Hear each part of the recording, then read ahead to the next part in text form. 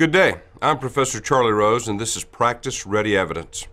And in this block of instruction today, we're going to take evidentiary law and we're going to look at it, and we're going to look at it in the, with, within the context of depositions of expert witnesses. We're going to address the way evidentiary law connects to the federal rules of civil procedure when we are working with expert witnesses so that we can properly prepare to depose them during the pretrial process and, and then properly present them at trial. Uh, so I've titled this particular block of, uh, of instruction Expert Witnesses and 30B6 Witnesses. And, and my goal is to, uh, is to help you to understand the way the law works and then from the law pull ourselves back to the actual advocacy of presenting uh, the evidence. Uh, let's give it a shot and see what we can uh, get done today. I'm going to go over the federal rules of evidence, kind of a once around the world. We'll look at 701, 702, 703, and a little bit of 704, and how they impact on the identification and presentation of expert witnesses. We'll look at the reliability analysis, which is actually the core function under the federal rules of evidence under the Supreme Court jurisprudence. What we're really concerned with when dealing with expert witnesses is are we going to be able to rely upon the information that they give? And the reason that that's so important is because the expert witness has phenomenal power within the courtroom. They're fundamentally different from lay witnesses in the types of opinions that they can give, uh, and their imprimatur of authority. And any of you who've been in civil courtrooms around the nation or in criminal courtrooms where expert witnesses were used probably realize that to a great extent, um, litigation has quite often become a battle of the experts. Now, I'll leave to another day whether or not that really makes any sense from a persuasion perspective, but it is the reality. Uh, money drives that reality, and we're seeing it all the time. So, the reliability of the expert is the key analytical point from Daubert and Kumho Tire, which are the two Supreme Court cases that really deal with it. And we'll touch on that today so that you understand it. Then I want to talk about the care and feeding of expert witnesses. They're just a little different, and you have to be careful in both your interaction with them and your presentation of them. And then I want to talk to you about um, 30B6 witnesses and how 30B6 witnesses work. Um, and 30B6 witnesses, for those of you who don't know, that's the Federal Rules of Civil Procedure. And it's a particular type of witness that is uh, empowered to speak on behalf of the entire corporation or entity and to bind the entity for purposes of that litigation through their testimony. And it's something that, um, that everyone who's involved in complex litigation uh, needs to be aware of. So let's, uh, let's, let's get started a little bit, and, and we'll begin by thinking about how the federal rules of evidence work when it comes to um, the presentation of evidence by experts. And the first thing that you need to always remember is that the judge decides the admissibility of the expert testimony. And that's a power that the judge has under Federal Rule of Evidence 104. It resides with the judge. The Daubert case um, often describes the judge as the gatekeeper of information. They decide whether the gate opens and the testimony comes in or the gate stays closed uh, and the testimony stays out. So that admissibility determination resides with the judge under the federal rules. Uh, and because expert witnesses have so much power, the way that we feel comfortable about the judge letting the testimony in is that we have a checklist of things that must occur first. And the first one is that there's a qualification on the part of the witness there's a process where the advocate brings forward the qualifications of the witness based upon the rules to show that they have the requisite experience uh, or education, usually a combination of both, to qualify them as an expert witness. And qualification deals with not only the expertise of the expert, but the application of that expertise to a particular situation.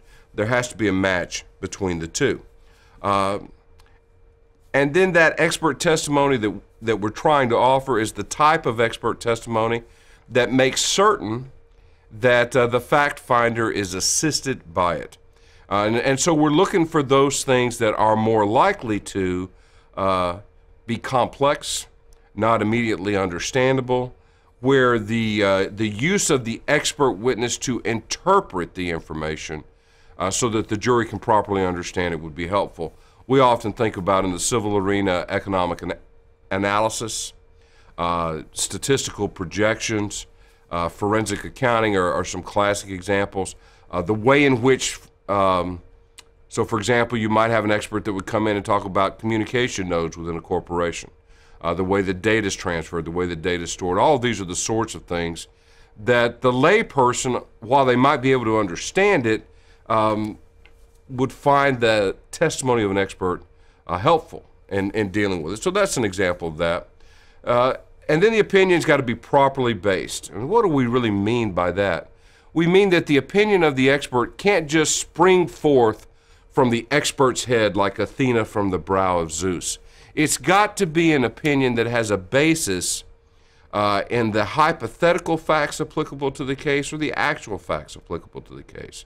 There has to be a connection between the opinion and the issue. And if there's not a basis, uh, we're not going to let that sort of testimony in because it's just not going to be helpful to the trier of the fact. And then, of course, the methods and conclusions utilized by the expert uh, based upon their qualifications, based on the issue at hand, must be reliable.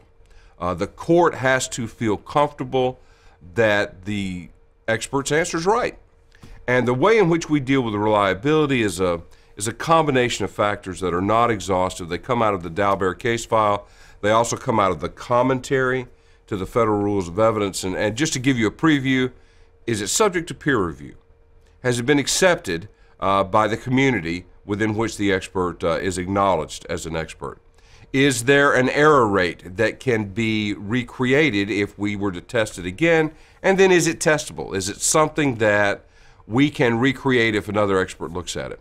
All of those things can be helpful to us in, uh, in working through 702, 703, and 704 to determine admissibility of expert testimony. And then at the, at the end of the day, it also has to satisfy Federal Rule of Evidence 403. And by that I mean it has to be the type of information uh, where the probative value is not substantially outweighed by the danger of unfair prejudice, confusion of the issues, waste of time, or misleading of the jury. That's the standard 403 balancing test. The admissibility of expert witnesses is, in fact, tied to the standard 403 balancing test, and that's the sort of the catch-all provision in evidentiary law that we always fall back on. Uh, new advocates and new lawyers often make the mistake of beginning with the 403 analysis when they should actually end with it after they've addressed the other evidentiary issues. So that sort of gives you an idea of what we're thinking about from the standpoint of the broad overview of the things that I want to accomplish with you today. But, but as we think about expert witnesses, um, the first thing that we're really looking at uh, when we go to present an expert witness, deals with the nature of the expert. And by the nature of the expert, what I'm talking about is the qualifications.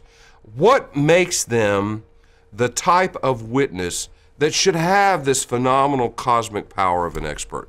How do we um, consider them uh, to be special?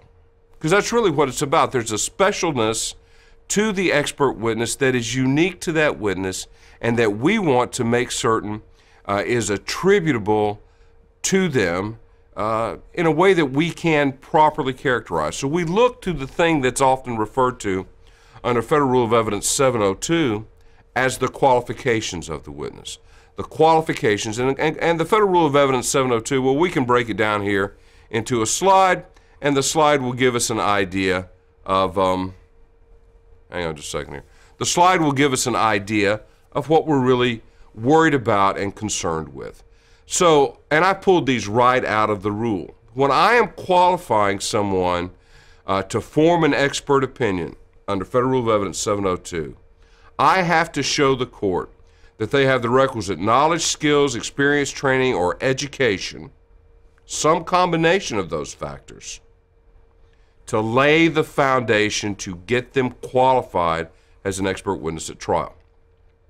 And these qualifications um, of the expert are unique to the expert, the industry, or the um, think of the right way to say this, the industry or the environment, the community uh, within which the expert resides. So, for example, uh, if I'm trying to get someone to testify about an issue specific to the military, someone who served 20 years might be quite helpful in that regard.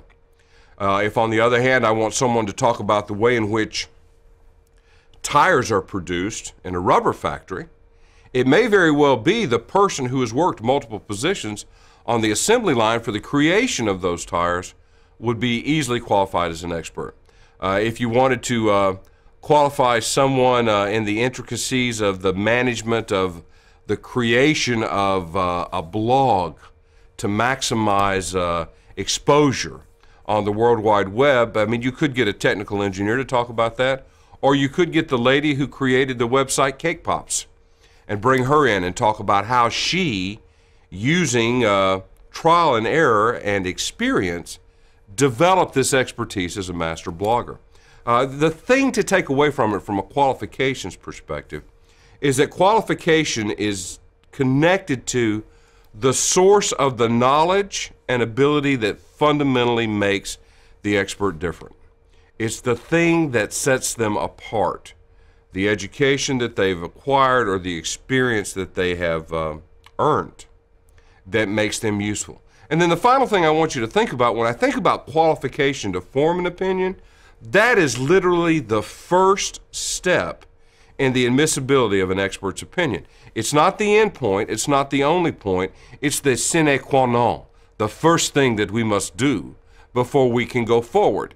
Uh, and it, it just sets the stage for what happens next. Because not only must I meet the qualifications under 702, I've also got to establish that the testimony is going to assist the trier of fact. And how do I work out assist the trier of fact?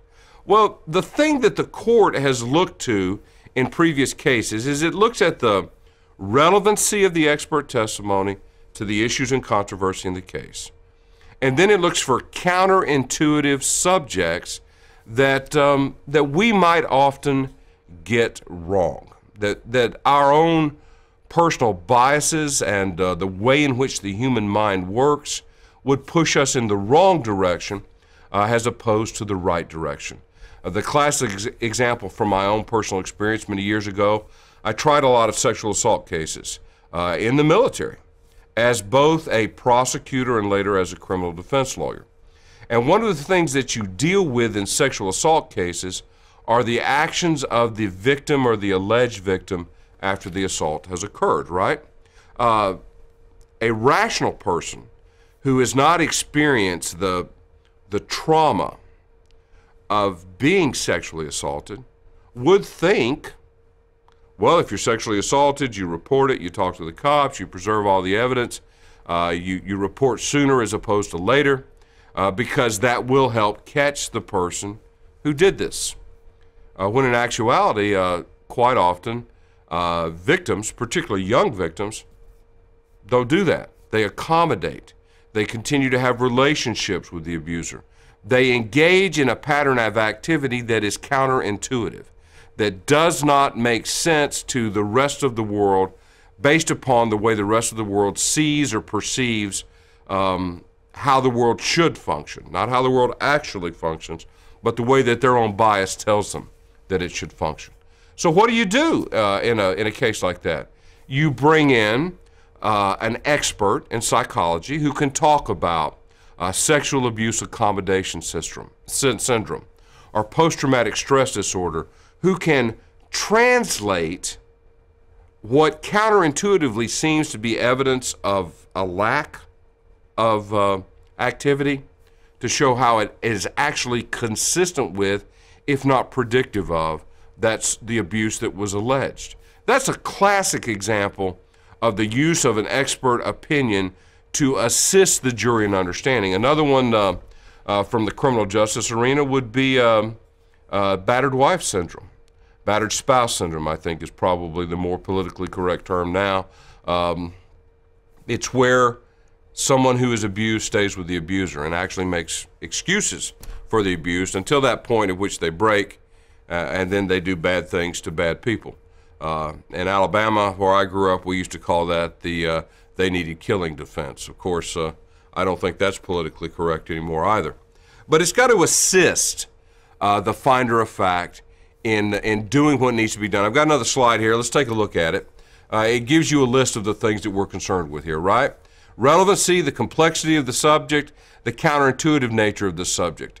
Uh, this is an interesting uh, analysis, and, and as, a, as the advocate, as the lawyer, you have free reign here to go as far as is necessary to show the judge why this particular opinion will work. And sometimes that may even require uh, some degree of presentation from the expert when it's a new expert, a novel expert uh, that hasn't been used before. We had an issue, uh, we had a case here in Florida in the last few years uh, where they tried um, Ms. Anthony for the alleged uh, murder of her daughter, and one of the issues in question was the decomposition of bodies in the heat and what degree of gases they might give off. And the state tried to bring in an expert who had done this sort of work with decomposing bodies in Tennessee. Well, the problem was the expert was perfect to, uh, to probably meet the standards that I'm talking about with you today under the federal rules of evidence, but it did not quite deal with the Florida rules for expert witnesses as they existed at that time, and it was not admissible. Uh, and that's just a classic example of a counterintuitive subject that did not get uh, through the gate uh, for admissibility. Uh, now, one of the things that we have to do when we look at whether or not the testimony is going to assist the finder of fact uh, is, is we have to look at Federal Rule of Evidence 704. And what 704 does is, is sort of identify the boundaries of how far an expert opinion can go from an assistance perspective. And the first thing that I want to point out to you that you should remember that's a fundamental concept is that testimony on the ultimate issue in the case is not per se uh, inadmissible. So, testimony on did that gun fire uh, the bullet that killed the individual? Was the person choked to death? Were the funds withdrawn from this particular IP address? Those are all, those, those might be the ultimate issues at trial, but they are going to not be uh, excluded just because they are. We have to turn to the ability of assistance to the finder of fact. Now, there is something that the courts have told us is not helpful, does not assist, even though prosecutors the world over and sometimes plaintiffs' lawyers think that it might. And that is, of course, a credibility opinion where we want to use an expert as the equivalent of a human lie detector. We don't let uh, machines testify as to truth, and we don't let people give expert opinions as to truth. So, no matter how much you like the show uh, Lie to Me, with micro reading of facial expressions to determine truth or, or, or lying, we don't let credibility opinions in at trial. So you can't say, I think that witness is lying, I think they did it, I think they didn't do it, their behavior is consistent with someone who's being untruthful. All that stuff is out the window uh, because it does not help. It is the, the duty of the fact finder to determine credibility of the witnesses, not experts. And you need to remember that uh, when it comes to uh, the admissibility of the opinion under 704. The other thing that we have to be concerned with is the basis of the opinion, the foundation of the opinion under, under 703. this is where the qualifications of the expert are applied to the facts of the particular case. And 703 tells us that an expert can testify at trial based upon the facts in the case that come to them as a hypothetical question, that they have personally observed, or that were reported from third parties. Now, reported from third parties is kind of an interesting piece to that puzzle because what that means is an expert can rely upon otherwise inadmissible hearsay as the fundamental basis for their opinion. Now, prior to the change to the Federal Rules of Evidence in around 2000, this was used to smuggle in a boatload of hearsay evidence that was otherwise not going to be admissible through the gate of the expert witness. Supreme Court took care of that when they uh, reworked uh, this rule in, a, in around 2000. And now that basis is not going to be admissible during direct examination. But if you attack the basis of the opinion of the expert as it connects to the facts on cross examination, you then open the door potentially to the admissibility of the hearsay evidence on redirect in order to explain the validity of the expert's opinion.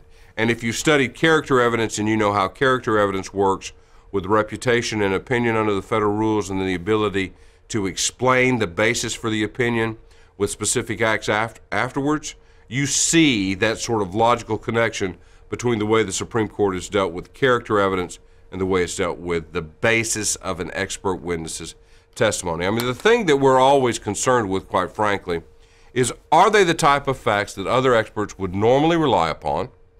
And are we preventing smuggling from occurring? And if we can say that those things are there, we're going to be okay. So we've looked at uh, the qualifications of the expert, uh, its ability to assist the finder of fact, and the basis of the opinion, its connection to uh, the issue and controversy in the case. So the, the last thing that we're left with from the standpoint of, of working out whether or not the judge should open the gate and let the expert testimony in is the reliability of the expert's opinion.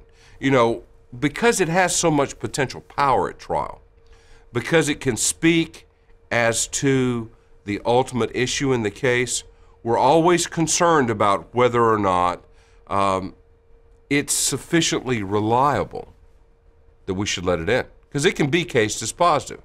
And what the Supreme Court has done is they have defined reliability in a series of cases. Uh, Daubert, uh, Kumho Tire, and Joiner v. Electric. And the Daubert factors are the factors that are most important. And I always use this an acronym to remember them. Uh, I just think of Pete. Uh, has their work been the type of work that's been subject to review by their peers? In other words, have they published uh, their opinion? Have they published their methodology? Do other individuals rely upon it? Do other individuals within their group agree with this sort of approach from a peer review perspective? Uh, can you establish an error rate for their testing? And is that error rate subject uh, to reproduction? If I were to do it myself, could I test it and get the same result again? The classic example that I think about that is the, the gas chromatic testing for uh, the presence of drugs uh, in urine or the bloodstream. That is clearly has an error rate for the machine, and it is clearly testable and reproducible with another machine. The same thing for a breathalyzer test. Those are two classic examples uh, of error rate. Now, acceptance is the Supreme Court's nod to the old standard before uh, the federal rules. That was the Frye standard. And that's just, yeah, you know, do most scientists, do most experts in your field agree with you that this is the right way to go about this?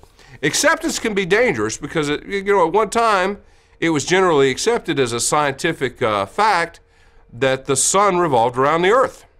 It was also generally accepted that the earth was flat. And we kind of know that both those things aren't true now. So acceptance can send us down the wrong path, uh, but when acceptance is tempered by these other factors, it's okay to use it as well. Uh, and then finally, testability. Can I recreate it if I, uh, if I go to do your test myself? These are literally the reliability factors that are necessary. So I've kind of addressed uh, these issues with you from an evidentiary perspective. The last thing then in this block of instruction that I want to talk to you about is kind of dealing with our experts from a care and feeding perspective. When I work with expert witnesses, uh, I want advance notice that they're going to be part of the case.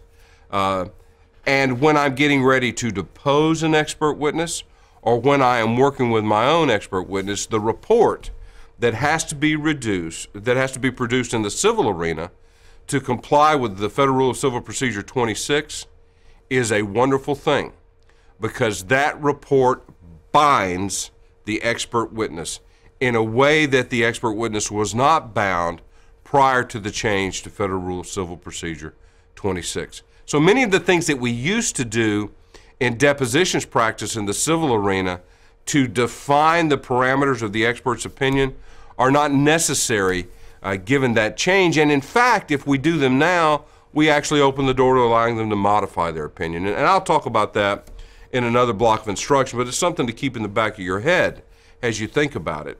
And then I have a, a, a really difficult job as the lawyer presenting the expert witness or attacking the expert witness. They speak in expert, I've got to translate into common English. The testimony has to be normal, and uh, those of you who've dealt with experts know that, that making them normal is sometimes a challenge, if not downright impossible. Because the very thing that makes them special makes them special, and it causes uh, communication issues that you got to be aware of. Sometimes it's hard to get out of the way of your education and actually sound like a human being. Uh, or your particular area of expertise may have removed you from the normal flow of, uh, of human commerce, so to speak. And then, of course, um, as I think about experts, what picture, what diagram, what uh, demonstration can help the jury understand the validity of the expert witness's testimony. Uh, and, and demonstrative evidence is really important there. And we're always building teams uh, when we're working with the experts. The expert is part of the team. The expert is covered by attorney uh, client privilege until such time as they're designated as a testifying expert. Once they testify, uh, once they're designated that they're going to take the stand, once they're designated for deposition, not only have I waived privileges to any conversation that I've had with that expert, but I've also waived privilege with what any other member of my team may have said to that expert as far as it applies to the basis of their opinion. And this is particularly um, troubling sometimes in criminal cases where part of the expert's work is uh, conversations with the accused that might otherwise uh, be covered by uh, you know the Fifth Amendment right uh, to remain silent. It's one of those things that you have to think about. And then, of course, I'm always looking at learned treatises and the way in which I can use those from a cross-examination perspective, from attacking the validity. And then the last thing that I want to leave you with is don't forget the changes to the federal rules of civil procedure and how they impact the presentation of expert witnesses. And, and that's a fundamental thing that we have to think about now as we make decisions about whether or not to depose an expert witness. Because if I'm going to depose the expert witness, I need to be thinking about um, the ramifications of Federal Rules of Civil Procedure 26 and Federal Rules of Civil Procedure 37. Now, I'll talk about that uh, in the next uh, block of instruction. Uh, till then, I'm Charlie Rose. Uh, great to see you digitally, and uh, maybe I'll meet you in person somewhere down the road.